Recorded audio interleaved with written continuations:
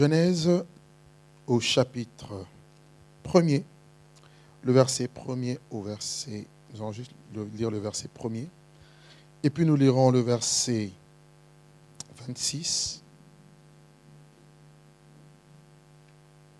au verset 28. Et puis nous allons prendre Genèse chapitre 2, verset 1 à 3, et puis le verset 7 et enfin le verset 15 à 16.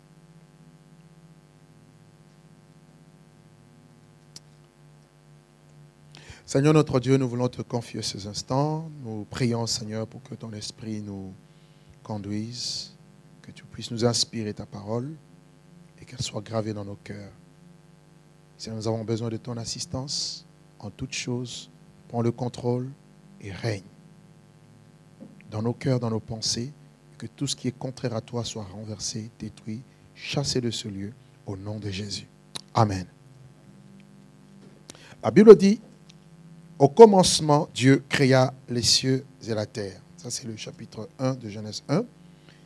Et au chapitre, au verset 26 nous dit, puis Dieu dit, faisons l'homme à notre image, selon notre ressemblance, et qu'il domine sur les poissons de la mer, sur les oiseaux du ciel, sur le bétail, sur toute la terre et sur tous les reptiles qui rampent sur la terre. Dieu créa l'homme à son image, il le créa à l'image de Dieu, il créa l'homme et la femme. Dieu les bénit et Dieu leur dit, soyez féconds, multipliez, remplissez la terre et assujettissez-la et dominez sur les poissons de la mer et sur les oiseaux du ciel et tout, tout animal qui se meut sur la terre. Genèse 2, verset 1 à 3. Ainsi furent achevés les cieux et la terre et toute leur armée. Et Dieu acheva au septième jour son œuvre qu'il avait faite et il se reposa au septième jour de toute son œuvre qu'il avait faite. Et Dieu bénit le septième jour et le sanctifia, parce qu'en ce jour, il se reposa de toute son œuvre qu'il avait créée en la faisant. Genèse 2, verset 7. Dieu forma l'homme de la poussière de la terre et souffla dans ses narines un souffle de vie, et l'homme devint une âme vivante. Le verset 15. Et l'Éternel Dieu prit l'homme et le plaça dans le jardin d'Éden pour le cultiver et le garder. Amen. J'aimerais parler un peu ce soir euh, du travail. On a trop tendance à parler de choses spirituelles qui sont d'ailleurs très très importantes et tendance à négliger euh, certaines choses qui concernent la vie, notre vie, euh, la vie que Dieu nous a donnée et qui doit se manifester et influencer aussi notre vie et ainsi que notre environnement. Et vous allez voir que, en ce qui concerne le travail et l'entrepreneuriat, Dieu, la Bible nous présente Dieu comme déjà un travailleur. Amen. Au Genèse, dans Genèse chapitre 1, on nous dit qu'au commencement, Dieu créa. Donc, quand on parle de travail, on voit l'activité. Pour ceux qui notent, quand on parle de travail, on voit le fait d'être en activité, le fait de, de, de, de, créer, le fait de penser, le fait de réfléchir, le fait de, de, mettre les choses en place, le fait d'appeler à l'existence des choses qui n'étaient pas comme si elles étaient, de commencer à un point donné et de terminer à un point donné. Et Dieu, le Dieu de la Bible, c'est un Dieu qui travaille, c'est un Dieu travailleur. Et nous voulons voir un peu dans les Écritures quelle est notre part et quelle doit être notre compréhension par rapport au travail. Amen. On nous dit que Dieu a créé les cieux, c'est-à-dire il a pris le temps de réfléchir. Dieu, la Bible nous présente Dieu comme une personne. Une personne qui a, de l'intelligence, qui a une volonté, qui a un pouvoir d'agir, une personne qui peut s'exprimer. Donc Dieu a conçu un plan et dans son plan, il a voulu créer l'univers. Et la Bible dira qu'il va tout créer par sa parole et cette parole qui soutient toutes choses. Alors, dans la pensée un peu latine ou dans la pensée grecque, le travail a un peu un sens, euh, je dirais, péjoratif, parce que le mot travail donne euh, ou signifie euh, faire souffrir ou encore, ou encore je dirais, tourmenter, emmener les gens dans une forme de labeur. Et même quand nous sommes chrétiens, nous avons l'impression que travailler, c'est comme une corvée. Travailler, c'est comme une punition voyez, le travail est comme une punition. On aimerait bien rester là sans rien faire et que tout, tout nous tombe du ciel, qu'on ait euh, toutes les richesses du monde qui nous tombent comme ça parce qu'on euh, s'ennuie au travail ou c'est trop dur. Alors que ce n'est pas ainsi que Dieu a fait conçu les choses. Le plan de Dieu, depuis le commencement, a été que l'homme puisse être à son image. La raison pour laquelle, au verset 26 de Genèse 1, il dira, Dieu dit, va, dire, créons, faisons l'homme à notre image, selon notre ressemblance. Cela veut dire quoi? Puisque Dieu est un travailleur, nous étant créés à son image, nous sommes aussi appelés à travailler. Amen. Amen. Est-ce que tout le monde me suit? Donc nous sommes appelés à travailler. Nous sommes appelés à, à, à créer, à, fournir des efforts pour aboutir à un résultat donné. Ainsi, le verbe travailler dans l'hébreu euh, nous donne quelques, enfin, nous avons quelques définitions du, du, mot travail, du mot travail. Le mot travail en hébreu nous donne action. Le mot travail en hébreu, c'est l'ouvrage. Et le mot travail, c'est aussi euh, euh, occupation. Quand on parle de travail, on voit une action, on voit un ouvrage, on voit aussi une occupation. D'ailleurs, vous allez voir que quand Jésus est venu, il va dire dans Luc 2, ne savez-vous pas qu'il faut que je m'occupe des affaires de mon Père? Amen. Donc nous sommes appelés à avoir une occupation. Si tu es là et que tu n'as pas d'occupation, tu vas passer à côté du plan de Dieu. Et je vais vous l'expliquer dans la parole de Dieu. Amen. Le chrétien et le travail. Le travail a aussi le sens de mission. Hein. Le travail a aussi le sens de mission, le sens de métier ou le sens de commerce. Vous notez? Ça a aussi le sens de mission, le sens de, métier et le sens de commerce. Quand Dieu voit le travail, c'est vraiment dans, dans, un sens beaucoup plus large. Ça peut même aller dans le domaine sacerdotal, c'est-à-dire ceux-là qui sont mis à part pour exercer un sacerdoce. C'est aussi un travail, mais qui est d'ordre spirituel. Il y a des travaux qui peuvent être plus au niveau euh, mental, au niveau intellectuel, au niveau de la réflexion. Il y a des gens qui travaillent juste avec leur cerveau. D'autres travaillent avec leurs mains. D'autres travaillent comme le travail que je, je fais. C'est un travail dur, mais c'est un travail qui est spirituel. Amen. Mais si quelqu'un ne travaille pas, il ne peut pas entrer dans le plan parfait de Dieu et sa vie sera ennuyeuse.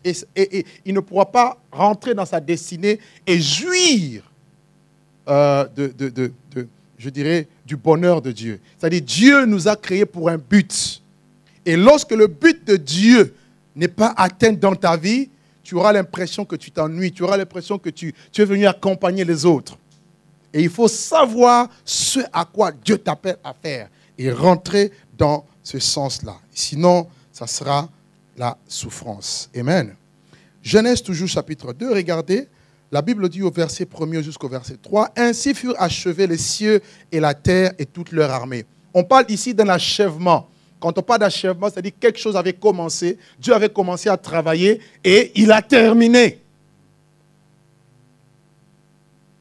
Dans Philippiens 1,6, il est dit, Paul dit, je suis persuadé que celui qui a commencé en vous cette bonne œuvre la rendra parfaite. Donc il y a une œuvre que Dieu a commencé dans la vie de tout un chacun de nous, le jour où nous avons accepté Jésus, un travail de salut a commencé par le Saint-Esprit. Et la Bible dit que Dieu va achever ce travail.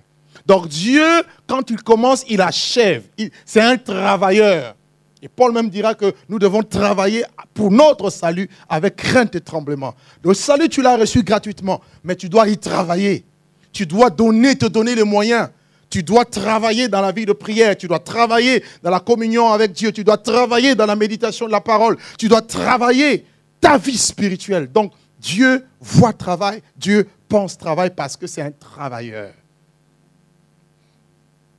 Amen. Dieu achève Verset 2 nous dit, Dieu acheva euh, au septième jour son ouvrage qu'il avait fait et il se reposa au septième jour de toute son œuvre qu'il avait faite. Donc après un temps de travail, il a pris six jours et le septième jour, il s'est reposé. D'où le mot Shabbat, le sabbat qui veut dire le repos. Après un travail, on entre dans le repos. On ne peut pas se reposer si on n'a pas travaillé. tu te reposes, quel travail as-tu fait? Et tout travail est censé donner un résultat. Et s'il n'y a pas de résultat, comment peux-tu dire que non, tu veux te reposer? Et vous verrez même que tant que nous sommes ici sur terre, la terre pour nous n'est pas un lieu de repos. Amen. Et Genèse 2, verset 7, on nous dit, Dieu va former maintenant l'homme de la poussière de la terre.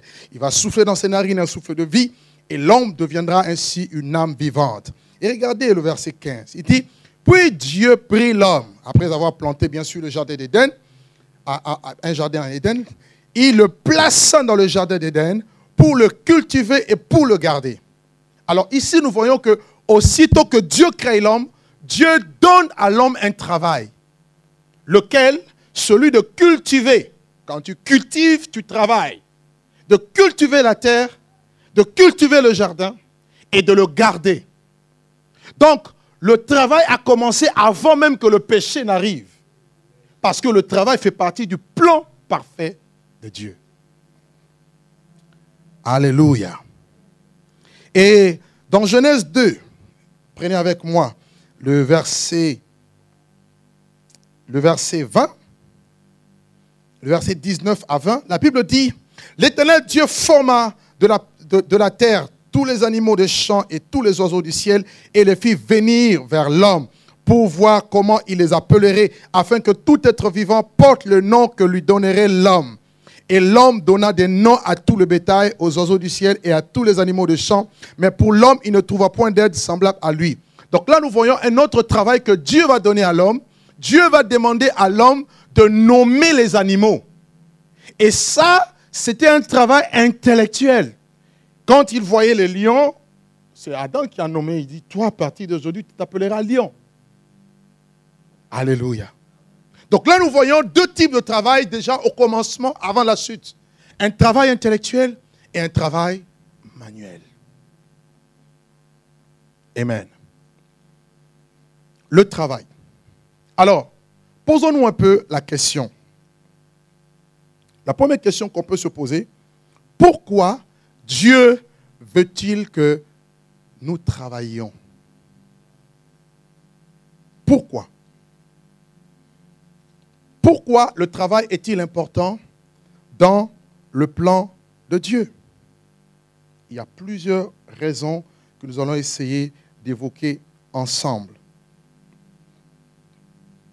Premièrement, vous pouvez noter que le, travail n'est pas une malédiction. Au contraire, c'est une source de bénédiction.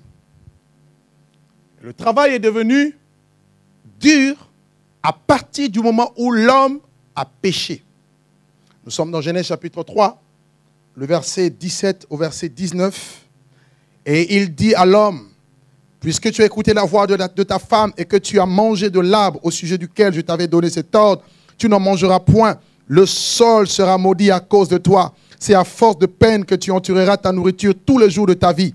Il te produira des épines et des ronces, et tu mangeras de l'herbe de champ. C'est à la sueur de ton front à la sueur de ton visage que tu mangeras du pain jusqu'à ce que tu retournes dans la terre d'où tu as été pris, car tu es poussière et tu retourneras dans la poussière. Amen.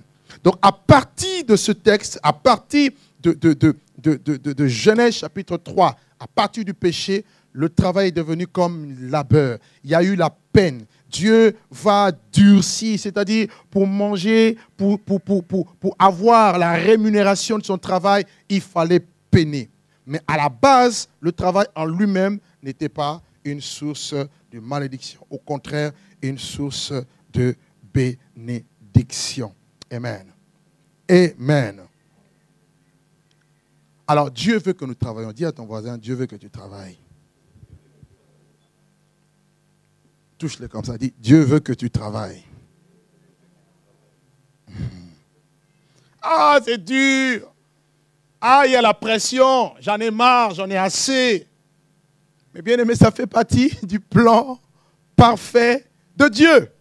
Donc tu ne peux pas euh, te dérober de cela. Alors, prenons euh, quatre, je dirais quatre aspects du travail selon la Bible. Genèse, de l'Ancien Testament dans le Nouveau Testament. Nous voulons parler un peu de quatre aspects du travail, selon la Bible. Le premier aspect, vous pouvez noter, le travail fait partie de la nature humaine. Dieu n'a pas donné le travail aux animaux. D'ailleurs, Jésus le dira, regardez même les oiseaux du ciel. Ils ne sèment ni ne moissonnent, ils ne travaillent pas. Dieu les nourrit. Ça fait partie de la nature. Donc Dieu a confié à l'homme le travail. Donc tout homme est destiné à un travail. Vous allez voir que le premier travail qu'il avait donné, c'était le travail de l'agriculture. Et vous allez, voir jusqu'aujourd'hui, ça reste un des, un, des métiers euh, le plus important. Parce que ça a commencé depuis la Genèse. Aujourd'hui, ça a été développé en cultivant la terre, en, travaillant la terre. L'homme a su découvrir des richesses qui étaient enfouies, telles que le diamant, l'or. L'homme a réussi par la suite à, extraire même le pétrole. L'homme a réussi à avoir des, des, minéraux, à avoir du, de tout ce qui est nucléaire, de tous les produits chimiques qui aujourd'hui euh, euh, a enrichi certaines nations. Tout ça parce que l'homme a obéi. Ils peuvent être païens, mais ils ont obéi à un ordre divin.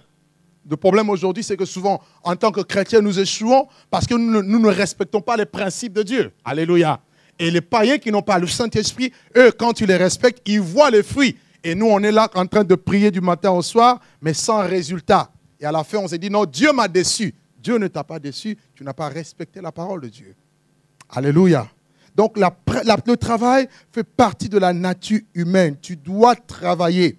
L'homme se distingue de l'animal par le travail. Tu dois travailler, tu dois travailler la terre, tu dois travailler ton cerveau, prendre le temps de réfléchir et prendre le temps d'innover. Ça fait partie du travail que Dieu t'a donné. Ça, c'est la première raison. Deuxième raison, le travail est nécessaire. Deuxième aspect du travail, selon la Bible, le travail est nécessaire pour la subsistance de l'homme. Le travail est nécessaire pour la subsistance de l'homme. Quand bien même cela serait pénible, difficile.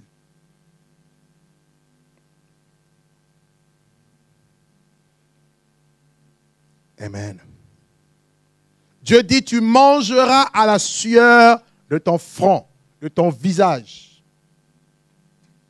tu mangeras. Cela veut dire que si tu ne travailles pas, tu n'as pas le droit de manger. Alléluia.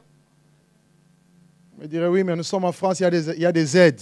Ce n'est pas la pensée de Dieu d'attendre les aides. Quelqu'un peut me dire Amen? Ah, Je sais que je, peux choquer quelqu'un, mais c'est la vérité. Le plan de Dieu, ce n'est pas que tu t'assois et que tu attends que les autres te donnent. Non, tu dois travailler. Et la Bible dit à la sueur de ton front. Il faut que tu travailles pour que tu manges. Et Paul ira même plus loin dans le livre de, de, de, de Timothée, de, Thessaloniciens, pardon. Allons-y dans 2 Thessaloniciens,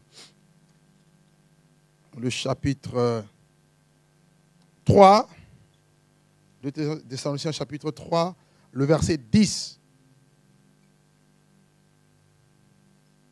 Il dit, car lorsque nous étions chez vous, nous vous disions expressément, si quelqu'un ne veut pas travailler, qu'il ne mange pas non plus. Si quelqu'un ne veut pas, si quelqu'un refuse de travailler, qu'il mange, cette personne-là, qu'elle mange? Non. Qu'il ne mange pas non plus. Donc, on doit travailler pour manger. Tu dois travailler pour avoir ta nourriture. Tu dois travailler pour subvenir à tes besoins. Tu dois travailler pour, euh, euh, euh, on verra tout à l'heure, pour aussi aider les autres, pour aussi soutenir l'œuvre de Dieu. Telle est la pensée de Dieu pour ses enfants. Amen. Troisième raison, troisième aspect du travail sur la Bible,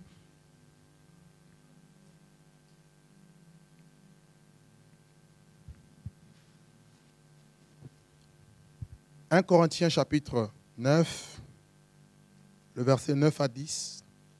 Regardez ce que Paul dit. 1 Corinthiens chapitre 9, verset 9 à 10.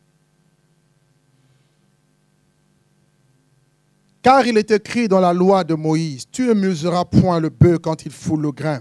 Dieu se, se met-il en peine des bœufs ou parle-t-il uniquement à cause de nous? Oui, c'est à cause de nous qu'il a été écrit que celui qui laboure doit labourer avec espérance et celui qui foule le grain doit fouler, doit fouler avec l'espérance d'y avoir aussi part.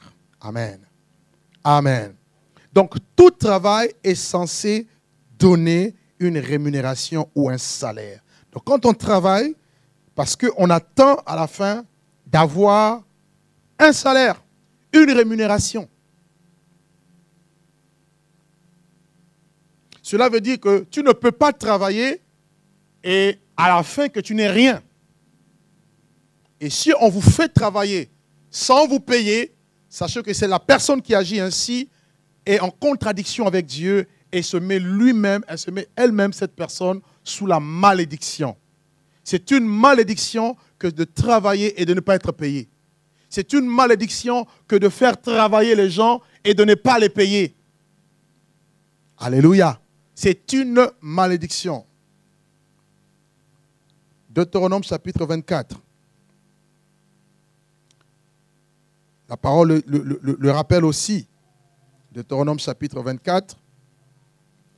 Lisons le verset 14 à 15. Il est dit, tu n'opprimeras point le mercenaire pauvre et indigent, qu'il soit l'un de tes frères ou l'un des étrangers demeurant dans ton pays, dans tes portes. Tu lui donneras le salaire de la journée, de sa journée avant le coucher du soleil, car il est pauvre et il, lui tarde de le recevoir. Sans cela, il crierait à l'Éternel contre toi et tu te chargerais d'un péché. Tu te chargerais d'un péché.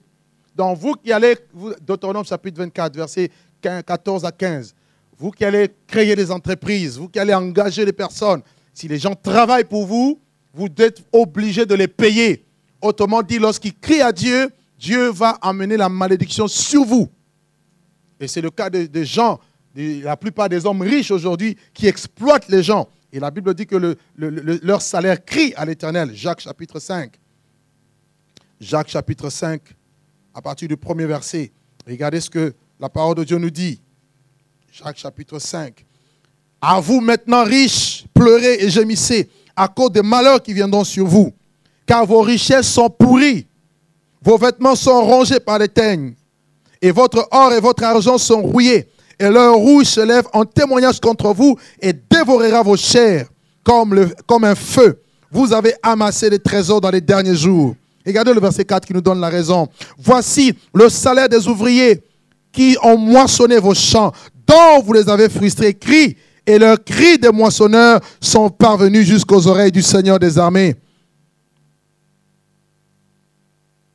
Donc les gens ont travaillé pour eux au moment de les payer, ils ne le payent pas. Et les gens commencent à crier, à pleurer. Seigneur entend, Seigneur voit. Et la Bible dit, ces gens-là sont sous la coupe de la malédiction. Pourquoi? Parce qu'ils ont refusé le droit à celui qui avait droit. Amen. Lorsque vous travaillez, vous avez droit à la rémunération. Quatrième aspect du travail. Au-delà du fait que cela est un ouvrage, une œuvre à accomplir, le travail doit être considéré comme un service. Comme un service. Selon euh, la décision d'un dictionnaire, définit le travail comme, il dit, car tel est le sens du travail, faire le bien, rechercher ce qui est utile aux autres, au lieu de vivre en parasite à leurs dépens. Donc, dans le travail, le but du travail, c'est de chercher à soulager les autres, à rendre service aux autres. Donc quelqu'un qui refuse de travailler, c'est quelqu'un qui refuse de rendre service aux autres. Imaginez que les policiers disent qu'aujourd'hui nous n'allons plus travailler. Il va y avoir des dégâts.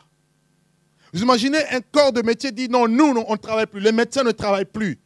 Les femmes, les sages-femmes disent que nous on, ne va plus travailler. Toutes les femmes enceintes, qui va les aider à accoucher donc, au-delà du fait qu'ils travaillent, ces femmes travaillent, ces personnes travaillent, ils sont en même temps en train de rendre service. Est-ce que je me fais comprendre? Donc, quand on travaille, même quand on va travailler pour Dieu, ça doit être aussi dans la même optique, dans la même vision. C'est-à-dire ce que je fais, même si peut-être cela ne peut pas me plaire, mais ça rend service à quelqu'un. Voilà pourquoi nous n'avons pas tous le même travail, n'avons pas tous le même métier, et chacun de nous doit, dans son domaine, travailler. Et c'est comme ça que la société avance, c'est comme ça que euh, l'œuvre de Dieu aussi, euh, quand on parlera de l'œuvre, pourra aussi avancer. 2 Thessaloniciens chapitre 3, versets 12 à 13. 2 Thessaloniciens chapitre 3, versets 12 à 13.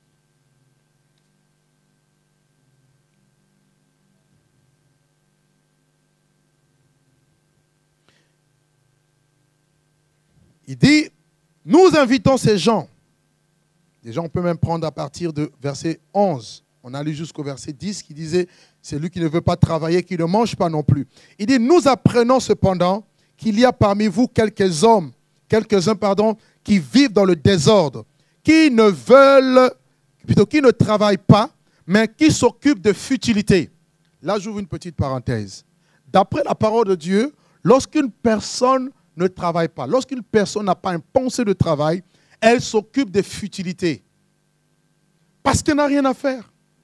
Parce qu'il n'y a pas d'occupation. Rien n'occupe sa vie. Donc, elle, cette personne, va commencer à regarder à gauche et à droite et va se retrouver dans plein d'histoires inutiles qu'on appelle les futilités. On s'occupe de futilités, des histoires qui n'ont ni tête ni queue, parce que tout simplement, on n'a rien à faire. Il dit, nous invitons ces gens-là et nous les exhortons par le Seigneur Jésus, Jésus-Christ, à manger de leur propre pain en travaillant paisiblement. Donc Paul encourage les chrétiens à travailler, de, ce, de, que chacun travaille de ce main afin de manger dans la paix. C'est-à-dire que quelque part, le travail amène la paix dans la vie d'une personne. Ça amène l'équilibre, ça amène la stabilité. Amen. Amen, amen, amen. Le travail.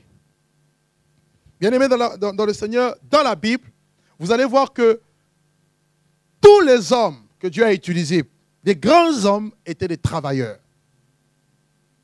Déjà, les enfants d'Adam et Ève, on n'a pas d'Abel, on n'a pas de Caïn. Caïn était laboureur, c'est-à-dire il cultivait la terre, et Abel était berger. Ils avaient un travail. Lorsque vous allez dans Genèse 12, Genèse 12, et vous lisez l'histoire d'Abraham, même, même si on l'appelle Abraham le père de la foi, Abraham, avant d'être père de la foi, il était d'abord berger. Il avait un travail. Genèse 13, par exemple. Regardez ce que la parole de Dieu nous dit. Genèse 13, le verset, le verset 2. Là, Abraham est sorti de, de, de l'Égypte. Et la Bible nous dira que Abraham était très riche en troupeaux, en argent et en or. Il était très riche en troupeau. Le père de la foi était riche en troupeau, en argent et en or.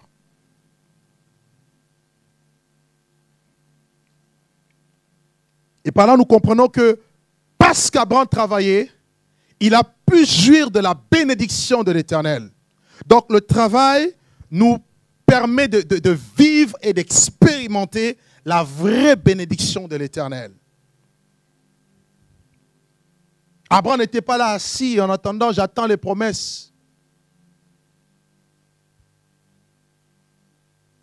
Très souvent, on a l'impression que les choses de Dieu vont tomber du ciel comme ça. Le ciel va s'ouvrir et puis les choses tombent comme ça. C'est faux. Si on ne se lève pas pour travailler, rien n'arrivera. Amen. N'ayez pas une foi, euh, je dirais, démesurée ou désorientée. On croise les bras, et on s'attend un jour à se réveiller riche, à se réveiller en ayant un certain niveau. C'est faux. Le père de la foi, il a eu les promesses, mais tout au long de son parcours, Dieu a permis qu'il puisse acquérir certaines richesses, entre autres les troupeaux, et il a su gérer ces troupeaux. Et par la suite, il avait même des serviteurs qui géraient ces troupeaux. Il était intelligent, il a su travailler. Et dans le travail, Dieu l'a béni. Bien aimé, n'oubliez pas que la bénédiction est toujours conditionnée à l'obéissance. Deutéronome chapitre 28. Pour être béni, il faut être obéissant. Or, dans le domaine du travail, si on obéit à Dieu et dans ce domaine, Dieu utilisera notre travail pour nous bénir. Jamais le contraire. Amen. Amen. Abraham a donc travaillé, il a exploité son intelligence, il a, cherché à développer son activité, il a vu les résultats. Vous avez un autre exemple, l'exemple d'Isaac, le fils d'Abraham. Isaac, qui avait reçu d'Abraham l'héritage. Quand Abraham est mort, il a laissé, comme c'était lui le fils de la promesse, il lui a légué l'héritage. Mais vous allez voir que malgré l'héritage que Isaac avait, Isaac ne s'est pas dit, bon, moi je suis héritier. Moi je suis héritière. J'hérite des maisons de mon papa. J'hérite des, richesses de ma mère. Donc je n'ai pas besoin de travailler. Et vous allez voir, la plupart des héritiers qui n'ont pas la notion du travail, en général, ils dilapident tout et ils ne restent avec rien. Papa avait des richesses, maman avait des richesses, ils avaient un compte à banque rempli et à sa mort, les enfants restent même pas 2-3 ans, plus rien. Pourquoi? Parce qu'ils n'ont pas eu la notion de travail. Alléluia. Alléluia. Isaac était héritier, mais Isaac a travaillé. Genèse. Regardez Genèse chapitre 26. On nous dit, dans Genèse chapitre 26, le verset 12 au, verset 13, il dit Isaac sema dans ce pays, et le pays des Philistins, et il recueillit cette année-là le centuple, car l'Éternel le bénit. Cet homme devint riche et il alla en s'enrichissant de plus en plus jusqu'à ce qu'il devint fort riche. Amen. Donc, il ne s'est pas contenté de tous les trésors euh, de l'héritage de son père, mais au contraire, lui-même a travaillé. Il a pris le temps de s'aimer. Quelqu'un qui sème attend à récolter. Ceux qui sèment avec l'âme moissonneront avec son allégresse. Alléluia. Celui qui sème peu moissonnera peu. Donc quand on travaille, quand on sème, on s'attend un jour à récolter. S'il devait s'appuyer sur l'héritage de ses parents, il n'allait pas travailler. Bien aimé, c'est la preuve palpable que la bénédiction de Dieu par le travail nécessite toujours le travail. Si on veut voir la main de Dieu, il faut que l'on travaille. Troisième exemple que j'aimerais vous donner, Jacob. Jacob. Notez quelques références que vous lirez à la maison. Genèse chapitre 27. Genèse 27, verset 41 à 44. Genèse 29, verset 15 à 30. Et puis Genèse chapitre 31, verset 1er. Dans ce texte, nous voyons Jacob, lorsqu'il est parti de la maison de son père, vous connaissez l'histoire, il avait volé la bénédiction. Et il est parti sans rien avoir à la main parce qu'il fuyait la colère de son frère Ésaü. Ésaü qui a su que Jacob avait volé la bénédiction, il cherchait à le tuer. Alors il est parti en courant. Donc il est parti sans rien avoir. Mais regardez comment cet homme, Dieu a réussi à le bénir, parce qu'arrivé à la maison de Laban, il a commencé d'abord à travailler. Bien évidemment, il travaillait d'abord pour avoir Rachel. Vous connaissez l'histoire. Et après sept ans, Jacob, euh, plutôt Laban lui dira non, ce n'est pas la coutume chez nous de marier la cadette avant l'aîné.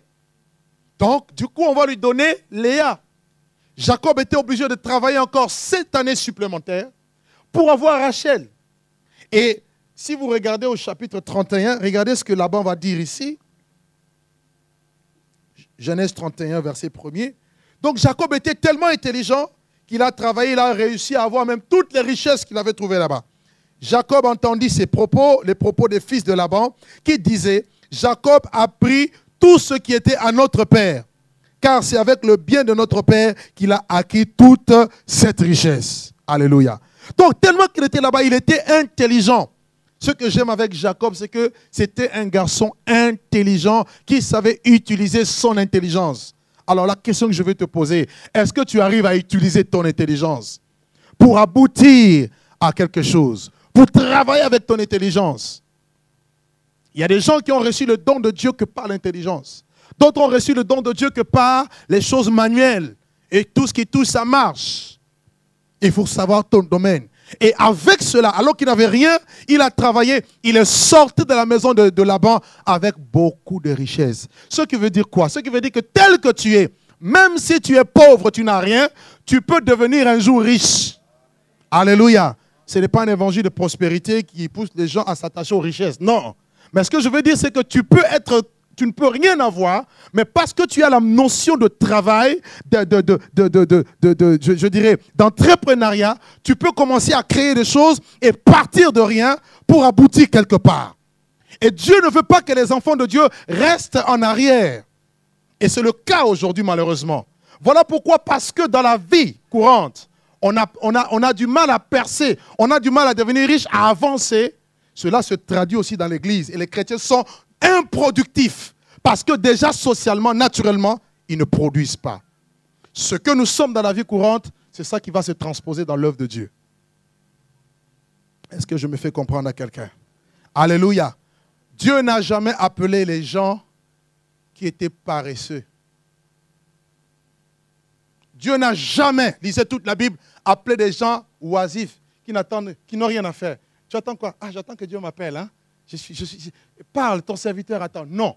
Toutes les personnes que Dieu a appelées, ils travaillaient. Dis à ton voisin, travaille. On va enterrer l'esprit de chômage à l'église au nom de Jésus-Christ. Tu dis pas Amen avec moi? Alléluia. Le contraire du travail, c'est la paresse. Et regardez un peu, avant d'aller plus loin, ce que la Bible enseigne sur la paresse. Il y a trop de paresseux parmi les enfants de Dieu. Alors que le Saint-Esprit devait nous rendre plus courageux que les païens. Les païens se lèvent tôt. Les chrétiens se lèvent à 10 heures du à 10 heures. Alors que,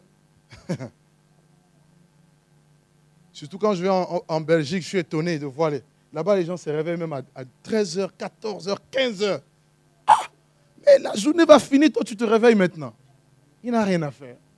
Donc il passe son temps à parler, puis à la fin du mois, il sait que le gouvernement va virer une somme d'argent. Et puis bon, voilà, il a de quoi s'habiller, il a de quoi euh, payer sa petite maison sociale. Et il se contente de ça. Lui, dans toute sa vie, c'est qu'il ah, se bat même pour les logements sociaux. Les logements sociaux. Bien aimé, si tu as un logement social, ça doit être momentané. Si tu as des trucs qu'on te donne, des choses qu'on te donne par le gouvernement, les aides, ça doit être momentané. Ce que je veux dire par là, c'est quoi? C'est que tu ne dois pas te contenter de ça. Dis que bon, moi, c'est bon, ça me suffit. Va travailler. Non, parce que si je vais travailler, non, mes ascétiques vont couper.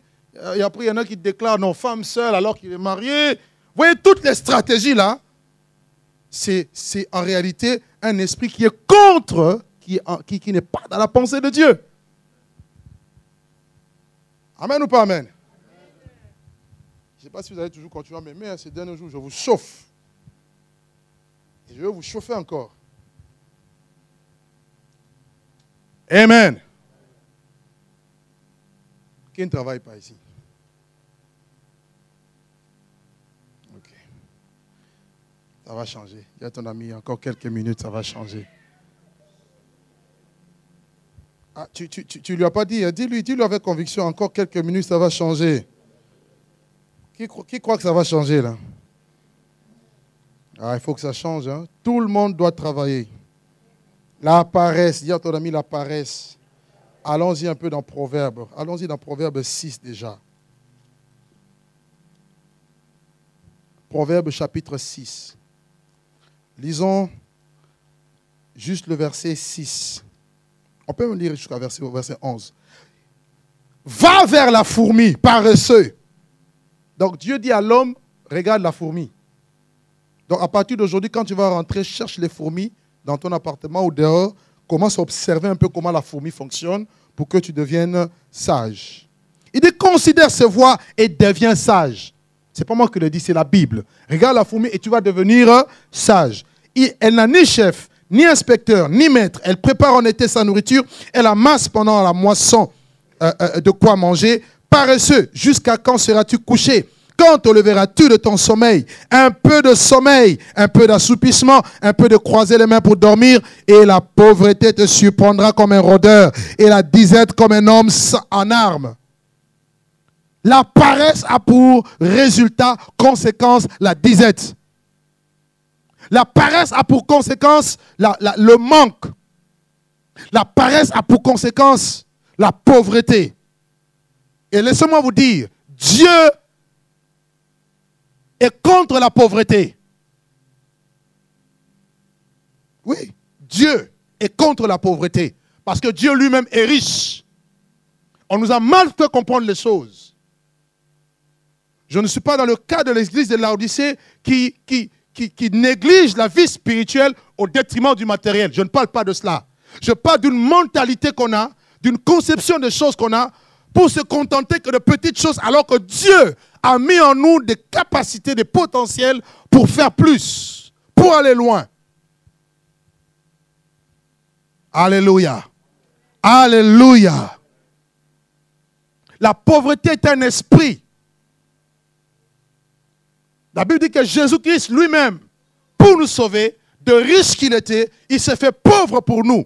Donc si toi, Dieu, te fait riche, c'est pour que tu, tu puisses t'appauvrir pour les autres. On en parlera tout à l'heure. Le principe du travail, le principe de l'abondance, ce n'est pas seulement pour toi, pour amasser des richesses sur richesses. Non. Mais c'est pour que tu sois un canal de bénédiction pour les autres qui seront dans le besoin. Oh, si tout le monde est au même stade, si tout le monde n'a rien, qui va aider l'autre? Ma soeur, je n'ai rien, aide-moi, moi aussi. Tout le monde au stade 0, au stade 1, qui va aider l'autre? Il faut qu'il y ait égalité. Alléluia. Alléluia. La paresse. Proverbe chapitre 14, verset 23. Lisez Proverbe, vous allez voir, il y a plein de textes comme ça qui nous parlent de la paresse.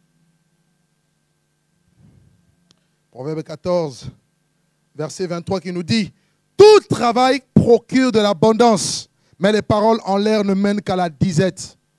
Là où il n'y a pas le travail, il n'y aura jamais l'abondance.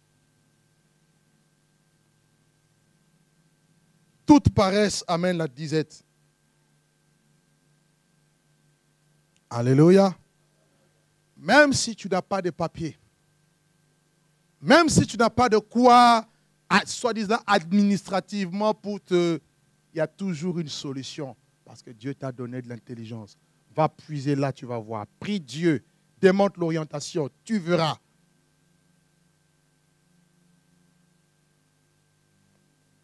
Amen.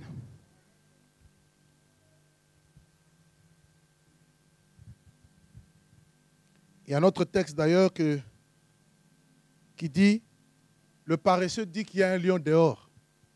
Il ne va pas aller sortir. Il faut sortir. Non, ça ne va pas aller. Tu cherches un travail. Tu le cherches comment? Tu n'envoies jamais de CV Tu ne fournis pas d'efforts? Tu ne sors pas de ta maison pour aller frapper les portes? Tu ne quittes pas ta position pour aller demander aux gens, il y a beaucoup de travail qu'on peut avoir aussi par des relations. Est-ce que tu ne connais pas quelqu'un? Quelqu'un ne connaît pas quelqu'un? Tu ne fais rien, tu attends comme ça. Au mois de janvier, au même stade.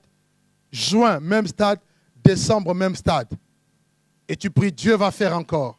Mais quand tu te regardes toi-même, ça ne va pas. Et les pauvres, malheureusement, ont tendance à, rejeter la faute sur les autres. Et quand ça ne va pas, tu dis non, de toute façon, c'est la faute de cette église-là. Oh, est-ce que c'est une église qui donne le travail? Une personne dans cette église avait fui l'église. Pourquoi? Parce qu'elle venait que je prie pour elle pour du travail. Je dis, ok, je l'envoie à des endroits, elle ne part pas. J'ai des contacts, va là-bas, elle ne part pas. Un jour, non, on ne s'occupe pas de moi ici, le pasteur n'est pas. Je dis, mais attendez, Dieu ne m'a pas établi pour donner du travail. Je ne suis pas le pôle emploi. Alléluia. Non, il faut que les choses soient bien comprises. Tout ça, c'est quoi? C'est la mentalité de dépendance. Or, dans l'attitude d'un pauvre, un pauvre cherche à dépendre des autres. Voilà pourquoi les pays africains ne dépendent que des pays occidentaux. Alors que le pays est riche, sur le plan. Euh, euh, euh, la terre est tellement riche, le sous-sol est tellement riche, mais les habitants sont pauvres. Allez à Jérusalem, allez en Israël, vous allez voir. Israël n'a rien. Mais regardez la vie qu'Israël mène. Et allez dans mon pays au Congo, mais vous allez pleurer. On vous dit un des pays les plus riches. Quand vous voyez les gens, la vie des gens, c'est la misère qui se dessine à leur visage. Pourquoi? Parce que tout le monde attend. Tout le monde attend l'oncle. Si tu as eu le malheur de réussir dans la vie, tous les yeux sont braqués sur toi. Et les gens ne veulent pas travailler. Ils ne veulent pas fournir des efforts. Ils attendent qu'on leur donne. Ça, c'est la mentalité de la pauvreté. Que Dieu ne veut pas. Des paresseux. Alléluia. Il y a des personnes même à qui vous allez payer l'université, payer l'éducation. Ils, vont, ils y vont, ils font des blagues, ils, ils, échouent, ils échouent à l'école, et puis ils vous tiennent responsable de leur échec. C'est ça un pauvre, c'est ça un paresseux. Un paresseux n'est pas responsable de ses actes. C'est toujours la faute des autres. Et Dieu est contre ça. Dis à ton ami, Dieu est contre ça. Dieu est contre ça. Dis-lui. Alléluia.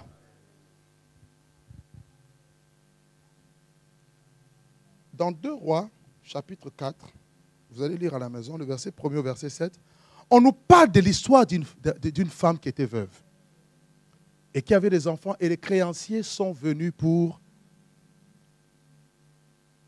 arrêter cette femme et ses enfants et les rendre esclaves. Alors que le mari de cette femme était prophète, serviteur de Dieu. Et la Bible même reconnaît qu'il craignait l'Éternel. Donc sa crainte de Dieu était reconnue. Mais il n'avait pas la notion du travail. La Bible dit que tout travail apporte de l'abondance. Mais lui, à sa mort, il a laissé les dettes. Lisez ça à la maison. Il est mort, il a laissé des dettes. Et c'est une malédiction lorsque vos parents vous laissent des dettes. Et je donne un conseil ici à tous ceux qui sont parents. Arrangez-vous pour que vous n'ayez jamais de dettes. Même après votre mort.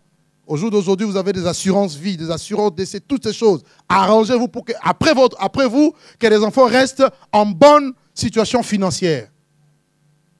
Alléluia. Parce que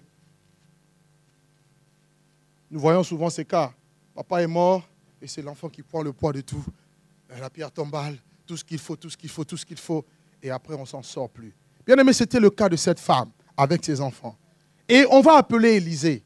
Élisée va venir, Élisée va dire à cette femme, qu'est-ce que tu as chez toi?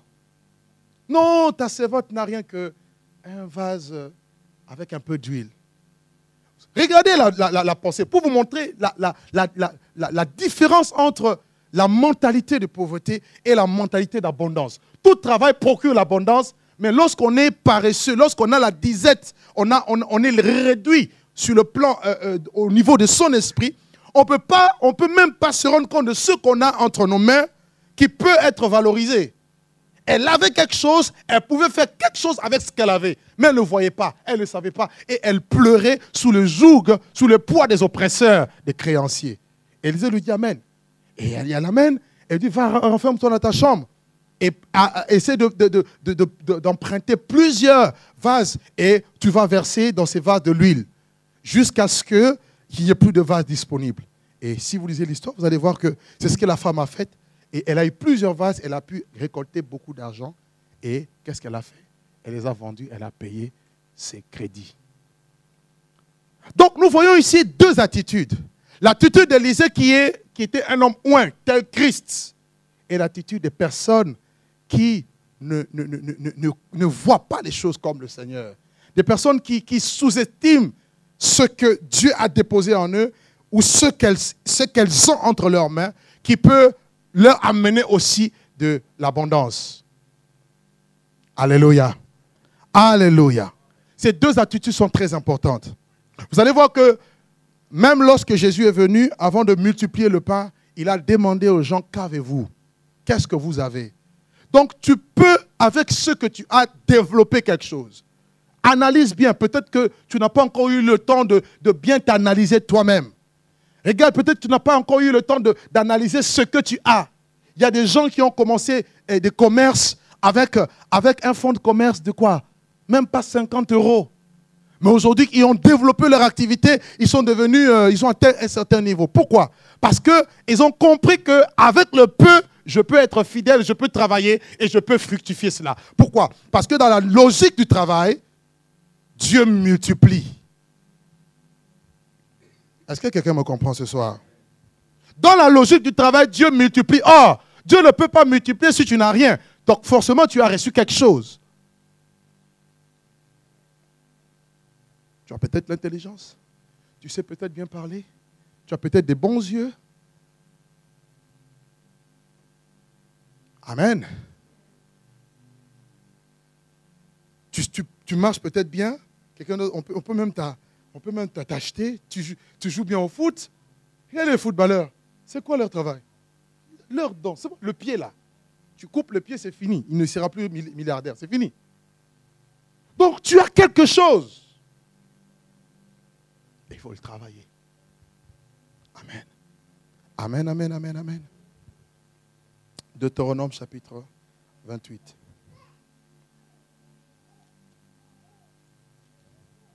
Bien-aimé, Dieu ne bénit pas la paresse, les paresseux. Dieu bénit les travailleurs. Deutéronome chapitre 28, nous lisons le verset 8. Dieu dit, il est écrit, l'Éternel ordonnera à la bénédiction d'être avec toi dans tes greniers et dans toutes tes entreprises. Et il te bénira dans le pays que l'Éternel, ton Dieu, te donne. Donc là, nous voyons un ordre. Dieu ordonne à la bénédiction. Oh, ça c'est, la dimension de la prière où tu dois, entrer. C'est-à-dire où Dieu lui-même donne l'ordre à la bénédiction de te poursuivre. Tu ne dis pas Amen. Moi, je dis Amen pour moi-même. Donc Dieu ordonne à la bénédiction. C'est-à-dire, toi, tu marches, toi, tu suis les. Qu'est-ce que Dieu veut que je fasse Quels sont les ordres de Dieu?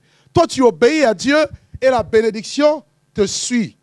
Au point même, tu peux dire, Seigneur, c'est trop, diminue un peu. Mais le problème, c'est qu'au point où tu en es, tu ne peux pas dire que c'est trop parce que c'est tellement peu.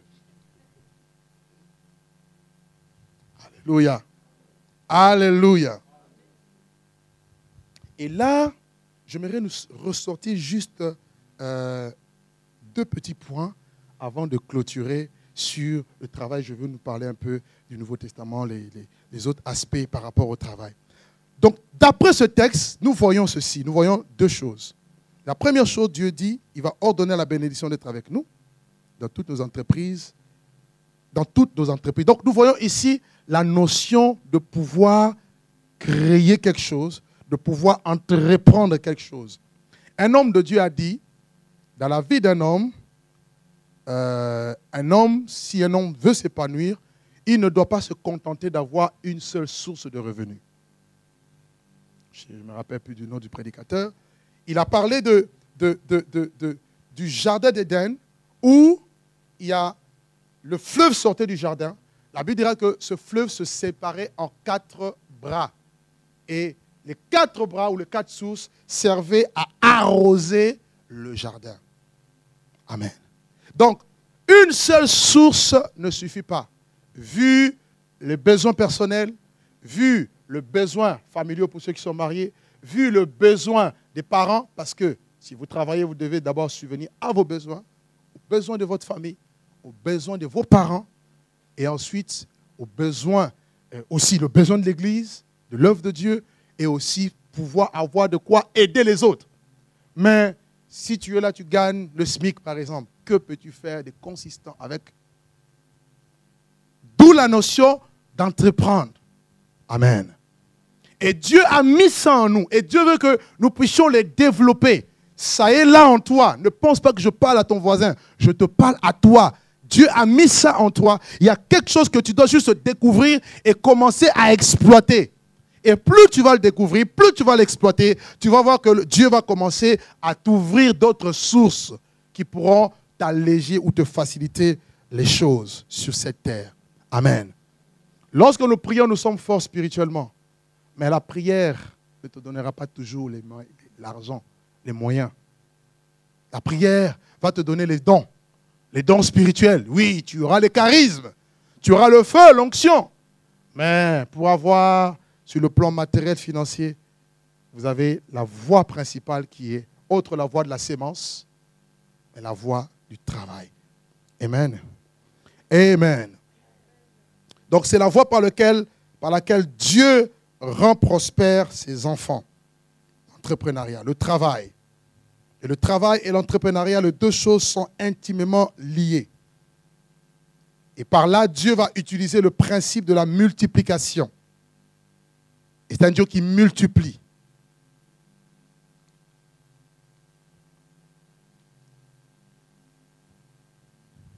Ça va, c'est clair? Est-ce que c'est clair? Bien. Marc chapitre 6.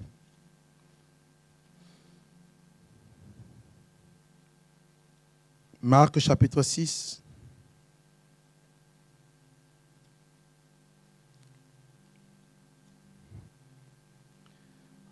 Nous lisons le verset 1er au verset 3.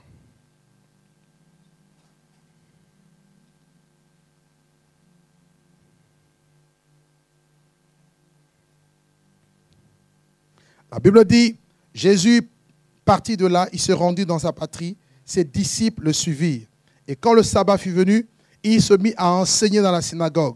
Beaucoup de gens l'entendirent, qui l'entendaient étaient étonnés et disaient, d'où lui viennent donc ces choses? Quelle est cette sagesse qui lui a été donnée Et comment de tels miracles se font-ils par ses mains? Regardez le verset 3. N'est-il pas le charpentier? Donc, les gens connaissaient Jésus pour être le charpentier. Et c'est qui un charpentier? C'est un travailleur. Il travaille quoi? Le bois. Il fait les meubles. Si, admettons, Jésus-Christ, avant d'entrer dans son ministère, était dans notre époque, on, cherche quelqu'un pour faire l'estrade, on va chercher Monsieur Jésus. Monsieur Jésus, on a besoin de quelqu'un qui va faire l'estrade. Il vient avec son marteau, ses clous, tant, tant, tant, tant. C'est ça le charpentier. On a besoin d'une chair en bois comme celle-ci. Jésus vient. Il avait un métier, frère. Donc, il n'est pas né en attendant le ministère. Il n'est pas né en attendant que les choses tombent du ciel. Il avait un métier. Acte chapitre 18. Jésus était un travailleur. Jusqu'à l'âge de 30 ans, quand il est rentré dans son ministère, il travaillait. Acte chapitre 18. Nous lisons le premier verset jusqu'au verset 3.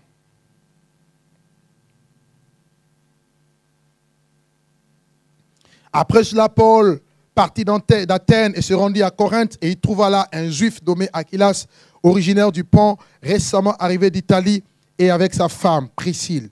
Parce que Claude avait ordonné à tous les juifs de sortir de Rome et il se lia avec eux. Et comme il avait le même métier, il demeura chez eux et il y travailla et il fabriquait des tentes. Paul à Corinthe, dans la maison de Aquilas et Priscille, travaillait. Et la Bible dit, il faisait quoi? Il fabriquait des tentes. Paul avait un métier. Quoi qu'il était ministre de Dieu, quand il avait des temps libres, il travaillait. Et il le dira encore plus loin dans Acte 20, le verset 33 au verset 35, il dit, je n'ai désiré ni l'argent, ni l'or, ni les vêtements de personne. Vous savez vous-même que ces mains ont pourvu à mes besoins et, et à ceux des personnes qui étaient avec moi. Donc les mains de Paul ont d'abord pourvu à ses besoins. Pourquoi travailler Pour pourvoir à ses besoins? À un certain âge, on ne doit plus dépendre des parents pour tout et n'importe quoi. Alléluia. Vous avez en Afrique, par exemple, dans certains coins, un homme ou une femme âgée d'un certain âge, 30 ans, 35, 40, et même pour acheter une baguette à la boulangerie, il a demandé l'argent à maman. Maman, est-ce que je ne peux pas avoir l'argent pour acheter la baguette? Pour acheter une paire de chaussettes, il faut demander. Je ne parle pas de, de, la situation où on, on cherche le travail, où on n'a pas. Mais parce qu'elle ne veut pas travailler, elle se contente de la situation des parents. Je connais même dans, dans, ma famille des, des, frères qui, ont, qui sont, dont, les parents étaient très riches, mais qui, qui n'arrivent pas à percer dans la vie parce qu'ils s'attendent à ce que l'un des parents meure pour recevoir l'héritage. Quelle malédiction.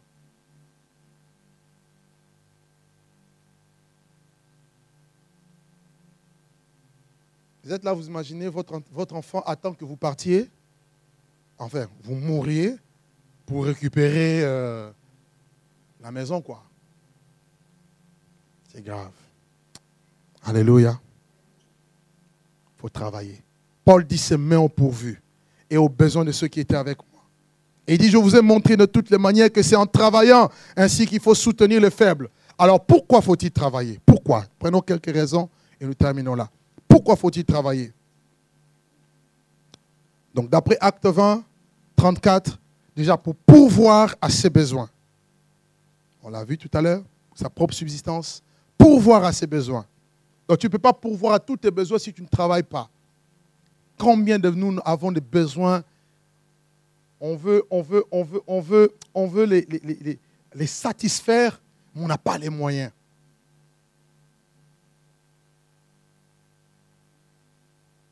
Et vous avez plusieurs types de besoins. Vous avez des besoins fondamentaux. Manger, vêtir, boire. Vous avez des besoins de sécurité, avoir un toit. Hmm. Amen. Avoir une bonne santé. Plusieurs types de besoins que nous avons. En Afrique, il y a des gens qui meurent parce qu'ils n'ont même pas, un peu d'argent en cas de, mal de tête de s'acheter ne serait-ce que le petit doliprane. Et ils meurent à cause de ça. Pourquoi? Pas de moyens. Pourquoi? Parce qu'on ne travaille pas. Alléluia. Alléluia. Pour subvenir à nos besoins. 1 Thessaloniciens chapitre 4 aussi le dit. 1 Thessaloniciens 4 verset 12. Vous notez Pourquoi faut-il travailler pour subvenir à nos besoins? Donc le travail est important. Tu ne peux pas subvenir à tes besoins tant que tu ne travailles pas. Paul dit, vous devez mettre votre honneur à vivre tranquille, à vous occuper de vos propres affaires et à travailler de vos propres mains, comme nous vous l'avons recommandé. Donc Paul a enseigné sur ces choses.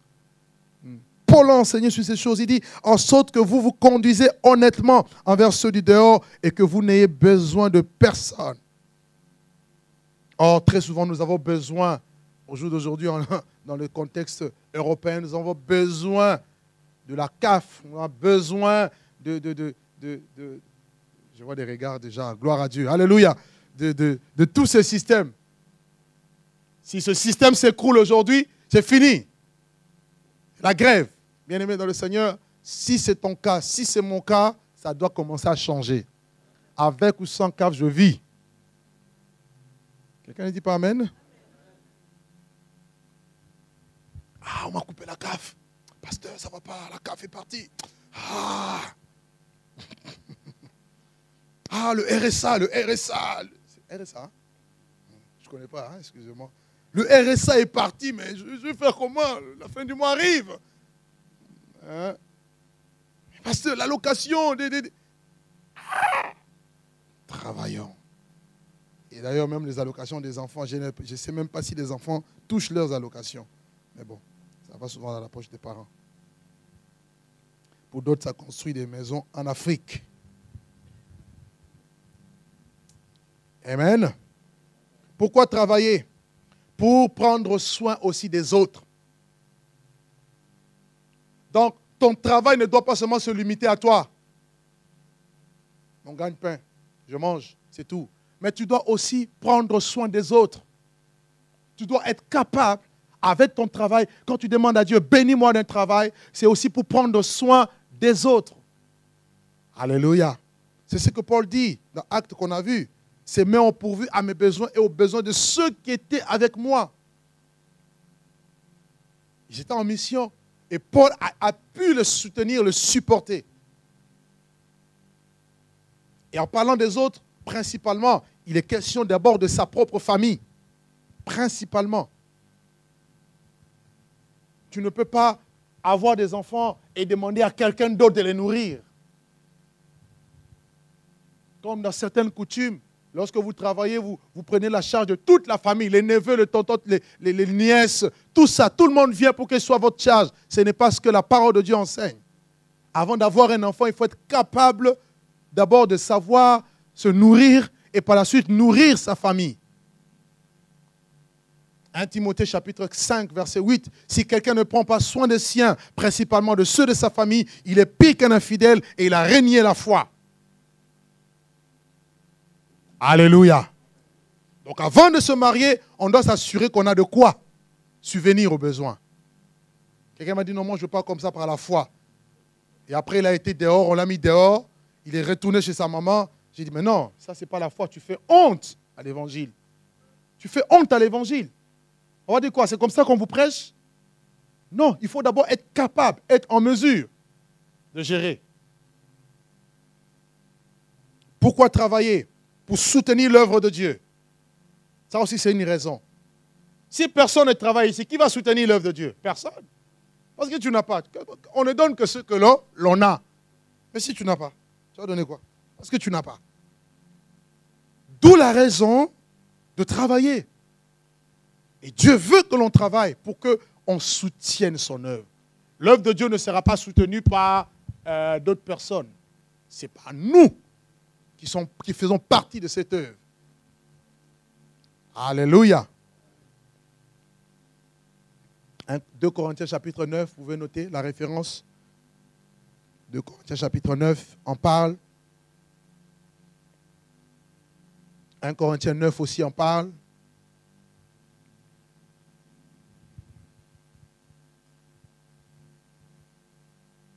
Et quand je parle de soutenir l'œuvre de Dieu, dans l'œuvre de Dieu, vous avez aussi les frères et sœurs qui sont dans le besoin. Un frère peut traverser une situation difficile et les bien-aimés doivent aussi venir en aide d'après la parole de Dieu. Alléluia. Vous trouvez ça dans le livre de Hébreu, par exemple, chapitre 13, verset 16. Hébreu 13, verset 16 nous en parle. On ne parle des actes de bienfaisance. Soutenez celui qui est dans le besoin. On ne peut pas être une église et on a des personnes, par qui sont là, qui n'ont rien à manger. Et on n'est pas sensible. Ce n'est pas l'amour. L'amour, ce n'est pas va, Dieu va te bénir, Dieu avec toi. On n'aime pas en parole, on doit aimer avec les actions. Alléluia. Si on a à manger, on donne à manger. Ce n'est pas de l'assistanat, on n'encourage pas la situation, euh, une situation pareille, mais au moins on assiste pendant un temps, sachant que la personne va s'en sortir demain. Mais il faut que l'Église, les frères et sœurs, sachent se soutenir. Est-ce que tu t'inquiètes même de l'autre? Est-ce que ça t'arrive même de penser, est-ce que, mon frère là ça va? Est-ce que ma soeur là ça va? C'est ça le véritable amour que Dieu veut qu'on puisse avoir. Alléluia. Pas en parole, oh Jésus, je t'aime, on se roule au sol, oui. Mais en réalité, dans la vie pratique, on a du mal à vivre ces choses. Or, lorsqu'on travaille, on peut se dire, bon, j'ai à cœur de soutenir telle soeur. Tu prends une petite enveloppe, ma soeur, petite, quelque chose pour toi. Ah, mon, frère, quelque chose pour toi. Parce que tu sais qu'il est dans le, dans le besoin. Il est dans une situation difficile. Et Dieu demain l'aidera, le bénira. Et la personne qui sera bénie de Dieu fera de même pour d'autres. Et c'est ainsi que nous pouvons nous entraider en tant que la famille d'une, les enfants d'un même père, une même famille et issus d'un même père. On doit travailler aussi pour soutenir ceux-là qui, qui nourrissent spirituellement les enfants de Dieu. Galates chapitre 6, verset 6. Galates 6, verset 6. Il dit que celui à qui l'on enseigne l'évangile, on enseigne la parole, fasse part de tous ses biens à celui qui l'enseigne. C'est la parole de Dieu. Amen.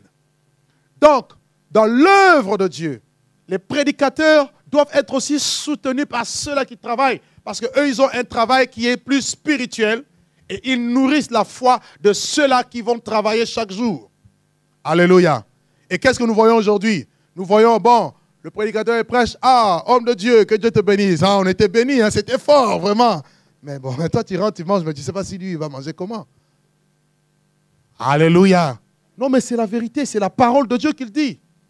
Et on ne peut pas l'enlever de la Bible. 1 Corinthiens chapitre 9, regardez ce que Paul dit à, propos. 1 Corinthiens chapitre 9, il dit au verset 11, si nous avons semé parmi vous des biens spirituels, et par la prédication, on sème des biens spirituels, on donne la connaissance, on prie, on prie pour la délivrance, la guérison, on, apporte les conseils. Un grand travail spirituel est fait qui nous, sort peut-être certainement des blessures, qui nous sort de l'enfance et qui nous amène dans la maturité. Et d'ici, nous avons sémé parmi vous des biens spirituels. Est-ce une grosse affaire si nous moissonnons vos biens temporels? Parce que les chrétiens de Corinthe étaient orgueilleux. Ils ne voulaient pas soutenir le ministère de Paul. Paul d'ailleurs était soutenu par ceux de la Macédoine, ceux-là même qui étaient pauvres. Alors qu'eux, ils avaient les moyens, ils refusaient de le soutenir par orgueil. Paul était obligé de se, justifier. Et il établit ici une règle, il établit ici, euh, je dirais, un fondement par rapport au travail. Il dit, mais nous avons semé. Ce que je fais, c'est un travail. Vous savez qu'il y a des études qui ont été euh, euh, faites par des, médecins au niveau des États-Unis en disant qu'une prédication d'un homme de Dieu oint pendant une heure correspond à huit heures de travail. Demandez à toutes les personnes qui sont ointes, quand elles sortent de la dimension de l'onction, elles sont épuisées. C'est comme si tu as travaillé, tu as donné des coups. Bien aimé, c'est un travail dur. Très dur. Au point où, à un certain âge, on recommande à certains prédicateurs de prendre le repos, beaucoup de temps de repos, parce que leur cœur a beaucoup travaillé. Il y a même des prédicateurs qui meurent jeunes tellement qu'ils sont actifs dans l'œuvre de Dieu. C'est un travail difficile, qu'on méprise, qu'on ne prend pas en considération. Paul dit, mais non, si on a sémé parmi vous les biens spirituels, est-ce une grosse affaire si on record de biens temporels? C'est quoi les biens temporels? Les choses matérielles, des choses futiles, des choses qui vont périr, des choses périssables. Mais la parole demeure éternellement. Mais ce que vous avez là, entre vos mains, l'argent, les biens, les vêtements, tout ça, c'est des choses périssables. Et lui-même dira, verset 13, regardez, il dit, ne savez-vous pas que ceux qui remplissent des fonctions sacrées sont nourris par le temple et que ceux qui servent à l'autel ont part à l'autel? De même aussi le Seigneur a ordonné à ceux qui annoncent l'évangile de vivre de l'évangile. Et ceux qui travaillent doivent soutenir l'œuvre de Dieu. Donc quand tu soutiens l'œuvre de Dieu, tu soutiens tout ça. Autre raison pour laquelle on doit travailler, pour avoir un bon témoignage dans le monde. Pour avoir un bon témoignage dans le monde. 1 Thessaloniciens chapitre 4, verset 12. On l'a lu tout à l'heure. Tu ne peux pas être un bon témoignage si tu présentes à ce monde, tu n'as rien à présenter à ce monde. Viens à Jésus.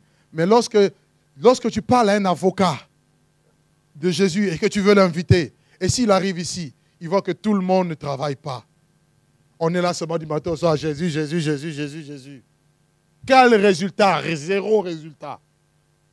Parce que le résultat, ce n'est pas seulement dans la prière. Alléluia. C'est l'ensemble des choses. On ne les gagne pas et on n'est pas un bon témoignage. Quand vous regardez, vous, voyez un peu euh, comment est-ce que le gouvernement français, par exemple, considère les églises, euh, je dirais, étrangères ici. Ils le prennent pour des rigolos. Pourquoi on on nous traite de secte ils ont dit voilà les gens qui n'ont rien à faire, qui n'apportent rien à la société. Il faudrait maintenant que les choses changent. Qu'on se dise, je suis chrétien, mais en même temps, j'influence ma société par l'évangile. Je croyais que tu allais dire Amen. Alléluia. Donc ne pas se contenter. Si il faut, aller à l'école, va à l'école, instruis-toi, aie des postes clés. Et là, tu pourras, tu pourras leur dire, écoutez, vous là, vous avez de l'argent, vous êtes tout ce que vous êtes, mais il vous manque Jésus. Regardez-moi. Vous êtes un témoignage dans leur milieu. Est-ce que toi, tu peux être un témoignage à l'Élysée? Déjà, tu vas entrer comment à l'Élysée? Est-ce que je me fais comprendre? Pour un témoignage, regardez le ministère de Jésus. La Bible dit Jésus était entouré de femmes de distinction. Quand vous lisez, c'était qui les femmes de distinction? Vous allez comprendre. Ce n'était pas n'importe qui. Donc, aie une vision une vision lointaine de travail. Amen. Oh, à cause du temps, je vais aller un peu vite. Vous allez voir que, vous allez voir parmi, parmi les disciples, Luc qu'on a, qu'on a lu, la Bible dit que Luc était médecin. Colossiens chapitre 4, vous le lisez. Luc était médecin. Est-ce qu'on peut retrouver les médecins chrétiens? Il y en a de plus en plus. Mais vous allez voir, la, majorité des médecins, ils sont dans la dans des confréries. Ils n'ont rien à faire ici. La plupart des juristes, des magistrats, la plupart des hauts cadrés, des, hauts cadres, ils sont dans des cercles. Mais s'ils viennent et trouvent des chrétiens qui travaillent, regardez les Nigériens par exemple. Vous les voyez partout, en Europe, en Amérique surtout. Ils bossent dur, mais vous le voyez avec une vie spirituelle élevée. Mais le problème aujourd'hui, c'est que les chrétiens d'aujourd'hui, surtout en Europe, nous avons, on est déséquilibrés. Soit on va se pencher dans, le, travail et on oublie la prière. Frère, tu es où alors le travail? Tout le temps le travail. Non, ce n'est pas la volonté de Dieu. Parce que l'homme ne vit pas du travail. Il vit de la parole de Dieu.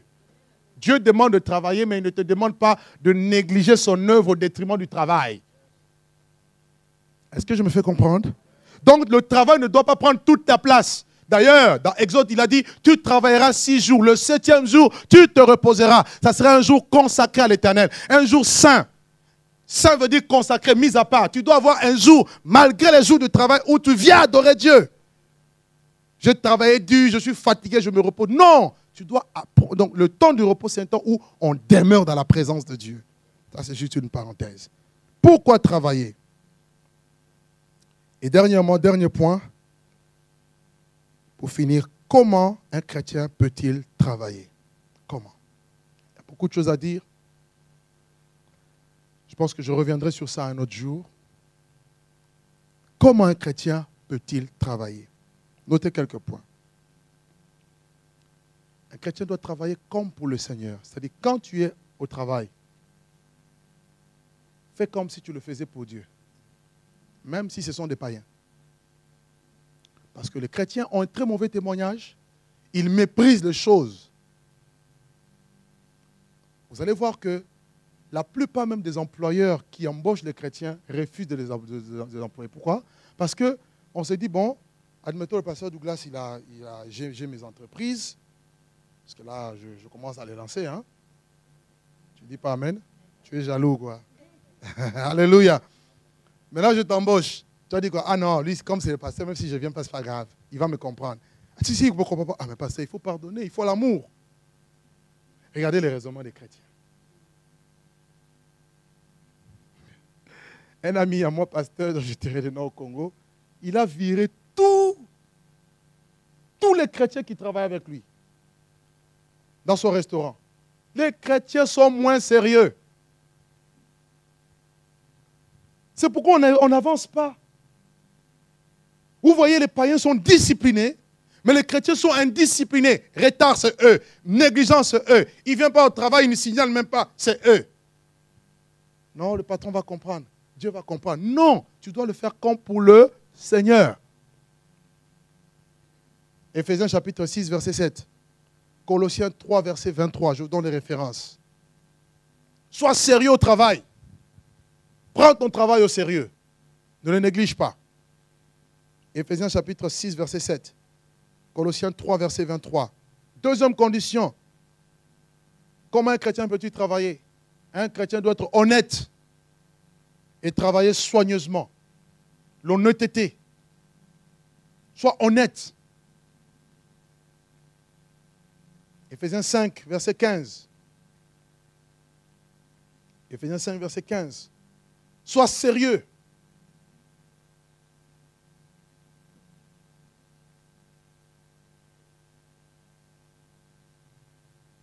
Pas de fraude. Verset 15. Troisième condition. Comment un chrétien peut-il travailler? Il doit travailler paisiblement. Il doit rechercher un environnement où il crée la paix. Et il doit être aussi persistant, consistant, régulier, pas de négligence.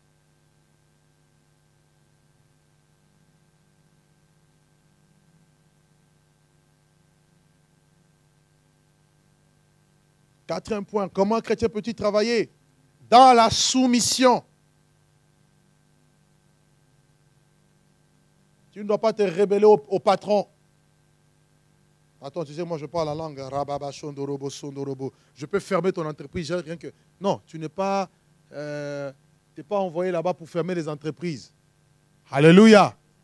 Parce que l'onction nous fait pousser les ailes et on pense qu'on devient surnaturel alors qu'on est homme. Parce qu'on n'est pas sérieux. On met tout sur le compte de, je ne sais pas. Le travail n'est pas spirituel. Est-ce que vous me comprenez? Le travail n'est pas spirituel. Le travail que tu fais là, quand tu vas au boulot là, ce n'est pas spirituel. Donc ça, nécessite un minimum de considération, un minimum de respect. Et dernier point, vous allez voir que la manière dont tu travailles, puisque nous avons vu dans Genèse, Dieu a travaillé, il a donné à communiquer à l'homme cette nature de travail. Vous allez voir aussi que ta manière de travailler dans la vie courante, c'est ça qui va être transposé dans l'œuvre de Dieu. Toutes les personnes qui ont du mal dans la vie courante avec le travail ne pourront jamais. La raison pour laquelle vous allez voir Dieu ne jamais appeler les gens qui ne travaillaient pas. Moïse, il était d'abord berger. Et son beau-père, Jétro. Et Dieu l'a appelé ensuite pour qu'il devienne berger d'Israël.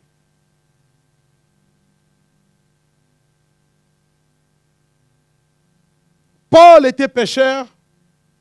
Jésus lui dit, suis-moi, je ferai de toi pêcheur d'hommes. Quel travail tu fais? Alléluia. Alléluia. On doit se battre.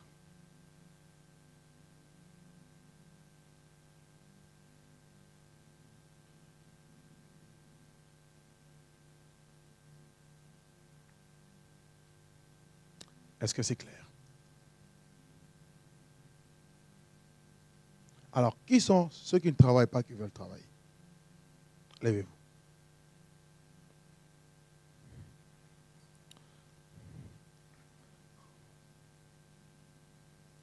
Ceux qui ne travaillent pas, qui veulent travailler, levez-vous, venez, venez devant.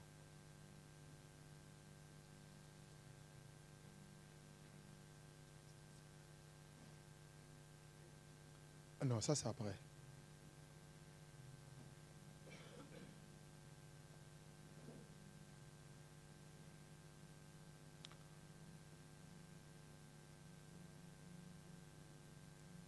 Non, je dis ceux qui ne travaillent pas et qui veulent travailler. OK. Est-ce qu'on peut, est peut fermer nos yeux Tous, s'il vous plaît? Nous allons lever nos mains vers nos frères et sœurs et nous allons prier pour eux. Le Seigneur ne veut pas que nous soyons dans l'oisiveté. Le Seigneur ne veut pas non plus que nous soyons dans le chômage. Il y en a certainement qui vont chercher mais qui ne trouvent pas. Mais avec l'onction de Dieu, les portes vont s'ouvrir. Levez vos mains. Seigneur, dans le nom de Jésus, je viens prier pour mes frères et sœurs, maintenant même. Je prie, Seigneur mon Dieu, pour que en sortant d'ici, que quelque chose se passe dans leur vie. Je viens, Seigneur, ouvrir la porte du travail dans leur vie. Comme tu as dit dans ta parole, il n'y aura point d'indigent parmi le peuple de Dieu. Qu'il n'y ait point d'indigent parmi ton peuple. Seigneur, qu'ils reçoivent au nom de Jésus-Christ. Là où on a dit c'est impossible, là où on a dit Seigneur que c'est, c'est, pas, cela ne peut pas se produire, je change les choses dans le domaine spirituel maintenant au nom de Jésus-Christ. Et j'appelle cela dans leur vie. Que la grâce de Dieu soit avec vous. Au nom de Jésus. Amen. Que Dieu vous bénisse.